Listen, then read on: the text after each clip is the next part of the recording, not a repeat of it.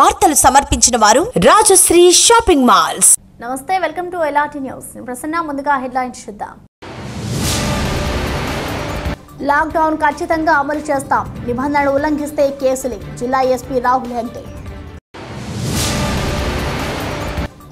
రంజాన్ మాసంలో దానం చేయడం ద్వారా గొప్ప పుణ్యం లభిస్తోంది. బోయినిపల్లి మండల కోఆప్షన్ సభ్యుడు మహమ్మద్ అజ్జు.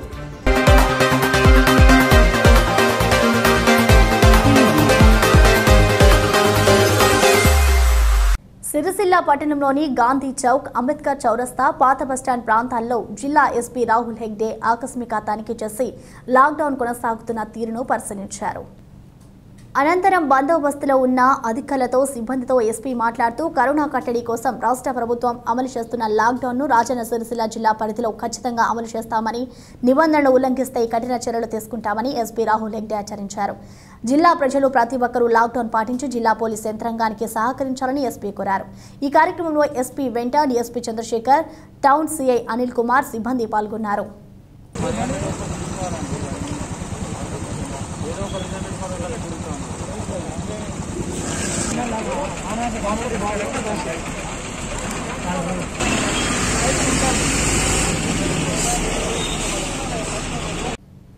రంజాన్ మాసంలో దానం చేయడం ద్వారా గొప్ప పుణ్యం లభిస్తుందని బోయినపల్లి మండల కో ఆప్షన్ సభ్యుడు మహమూద్ అజ్జు అన్నారు. కరీంనగర్కు చెందిన మేము సైతం యువసేన ఫౌండేషన్ వ్యవస్థాపకులు చకిలం స్వప్న శ్రీనివాస్ దంపతులు బోయినపల్లి మండలంలోని కోరెం మల్కాపూర్ తడగుండ గ్రామాలలో ముస్లిం నిరుపేద వితంతు మహిళలకు రంజాన్ పండుగ సామాగ్రిని బోయినపల్లి మండల కోఆప్షన్ సభ్యుడు మహమ్మద్ అజు పంపిణీ చేశారు. ఈ సందర్భంగా ఆయన మాట్లాడుతూ మేము సైతం యువసేన ఫౌండేషన్ వారు అనేక సేవా కార్యక్రమాలు చేస్తూ అందరి మన్ననలు పొందారని భగవంతుడు వారిని ఆయుర ఆరోగ్యాలతో చూడాలని కోరారు. ఈ కార్యక్రమంలో మాజీ కోఆప్షన్ హైమద్ హుస్సేన్ నాయకులు డబ్బు సుజన్ రెడ్డి నజీర్ హుస్సేన్ తదితరులు పాల్గొన్నారు.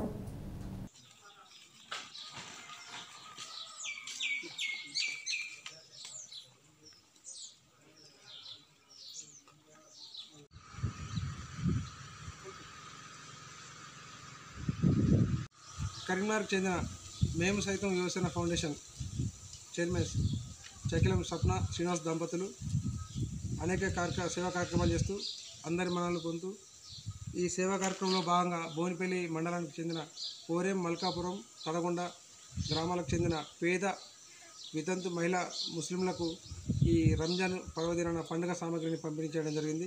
ఈ సందర్భంగా భగవంతుడి వల్లను ఆయురారోగ్యాలతో ఉంచాలని వాళ్ళ ఆశీస్ భగవంతుని ఆశీస్సులు ఉండి మరిన్ని సేవా కార్యక్రమాలు చేయాలని ఈ సందర్భంగా కోరుకుంటూ వాళ్ళని అభినందిస్తున్నాను. రుద్రంగి మండల కేంద్రంలో గ్రామ పంచాయతీ ఆధ్వర్యంలో హైపోక్లోరైడ్ ద్రావణాన్ని పిచికారీ చేశారు.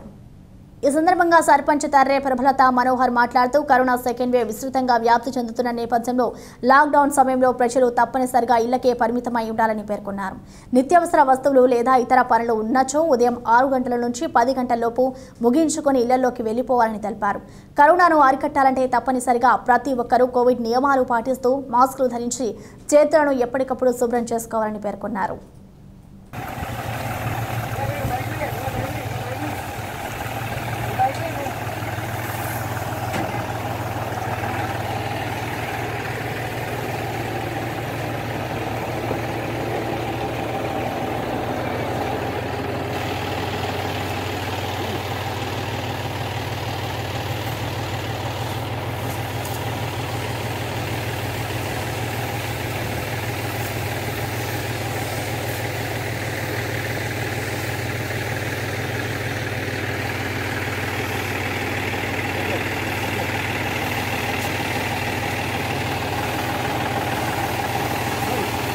ఈ